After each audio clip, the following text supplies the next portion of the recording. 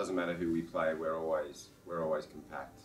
Um, I think the big thing was, uh, you know, maybe we could have tried to play out a bit more off goal kicks, because um, obviously they had a few shots on goal and stuff like that. But um, we press, we, we tried to keep a high line, but they just gradually play you back and back and back, and before you know it, you're on the edge of your box. The whole team's still defending after they've had X amount of passes. So, um, you know, the plan was to be compact and not get too deep.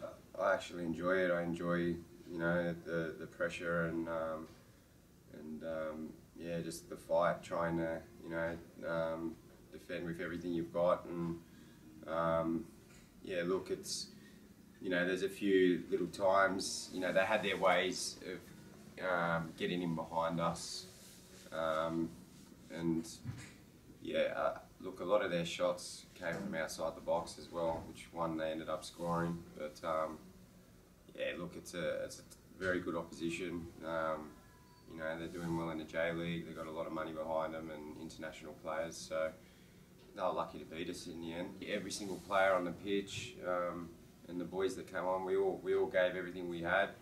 Um, you know, we we're winning uh, the game at half time and um, you know not just by the scoreline but I think we you know we um, showed ourselves um, to be a good team in that first half especially you know, as I said in the second half they just they pressed quite high forced us to play long off the goal kicks and and then gradually just passed their way down um, and forced us back and you know they were lucky to get a couple of goals. We do a lot of work on our set pieces and um, you know, Popper and I, I, guess the team, we like to pride ourselves on, um, you know, getting balls in and attacking things and also defending strongly as well. So, yeah, hopefully that's a, a kind of like a trend that continues into the finals. It's the first time in a couple games in Champions League we've conceded.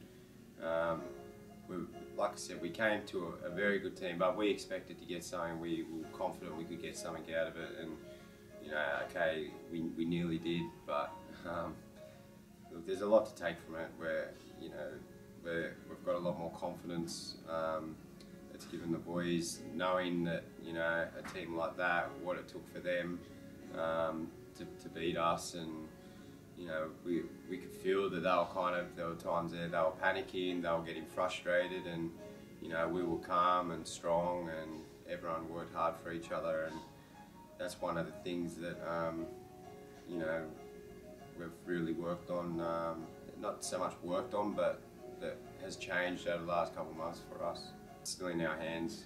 Um, we just, um, you know, obviously Korea away is going to be a very tough game. Um, straight after the Melbourne Heart game, I think it is. But you know, we'll be ready for it. Um, the boys are fresh. everyone's ready to go, and uh, look, we just have to win, and that's that's all we have to worry about. We don't have to worry about anyone else as long as we win.